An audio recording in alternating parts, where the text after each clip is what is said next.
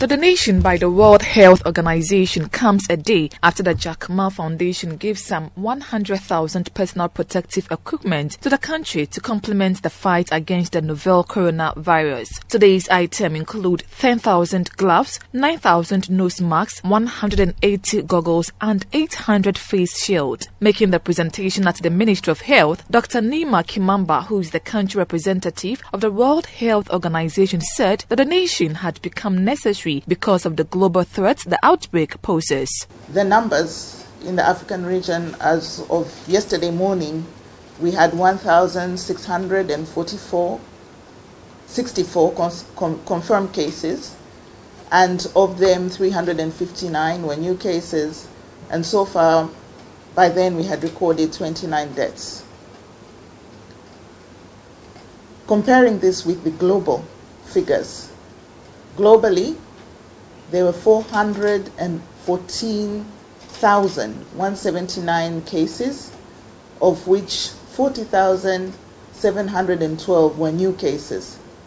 Globally, we already have recorded 18,414 deaths, and of them, 2,202 were new cases in the past 24 hours. So we can see that the numbers are huge. While Africa is still the continent with the lowest number of confirmed cases, the rapid evolution of this epidemic must be a wake up call for all countries, including Ghana.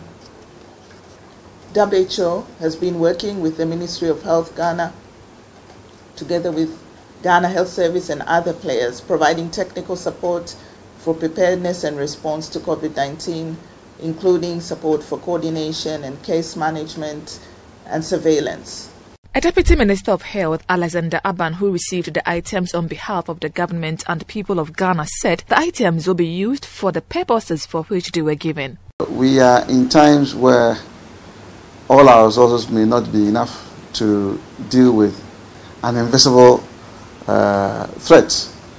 Uh, we are at war, and obviously, we would need uh, in our armory um, the uh, all the weapons that we require, and of course the protective uh, gears. We have officially received these items, and let me once again thank the World Health Organization for their generosity towards the people of Ghana. We are going to apply them for the purposes for which you have made these donations, and I believe that uh, we shall succeed in this fight.